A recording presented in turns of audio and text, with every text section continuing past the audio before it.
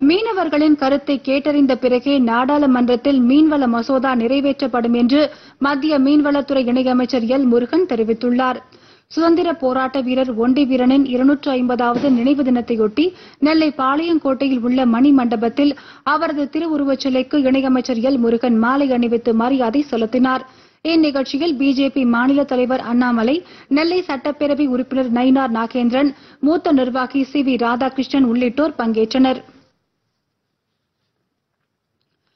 நெல்லையில் பாரதியார் பயின்ற பள்ளியில் மகாகவி சுப்பிரமணிய பாரதியாரின் நூற்றாண்டு நினைவு தின முத்திரையை அமைச்சர் எல் முருகன் இன்று வெளியிட்டார்.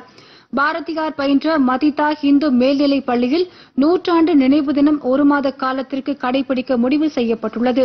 இதன் தொடக்க நிகழ்ச்சியில் பங்கேற்ற அமைச்சர் எல் முருகன் பள்ளி வகுப்பறையில் அலங்கரித்து வைக்கப்பட்டிருந்த பாரதியார் மற்றும் வ உ சிதம்பரனார் ஆகியோரின் திருவுருவப் படங்களுக்கு மாலை அணிவித்து மரியாதை செலுத்தினார்.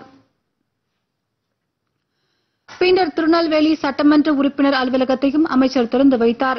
இதைத் தொடர்ந்து செய்தியாளரிடம் பேசிய அவர் மீன்வள மசோதா இரண்டாயிரத்தி இருபத்தி ஒன்றில் உள்ள அம்சங்களை மக்களிடம் எடுத்துரைப்போம் என்று கூறினார்.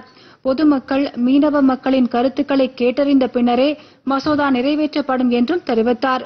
கொச்சியில் உள்ளதை போன்று விசைப்படகுகள் கட்டுமான நிறுவனம் தமிழகத்திலும் நிறுவ நடவடிக்கை எடுக்கப்படும் என்றும் அமைச்சர் குறிப்பிட்டார். குறிப்பாக ட்ரெடிஷனல் ஃபிஷர்மேன் என்று சொல்லக்கூடிய நம்மளுடைய உள்நாட்டு மீனவர்களுடைய வாழ்வாதாரம் மேம்பட வேண்டும். அவர்கள் வந்து முன்னேற்றம் அடைய வேண்டும் என்பதற்காகத்தான் நாம் இந்த சட்டத்தை கொண்டு வந்திருக்கிறோம். இந்த சட்டமானது அனைத்து மீனவர்களுக்கும் பாதுகாப்பான சட்டமாக இருக்கக்கூடிய இருக்கக்கூடும்.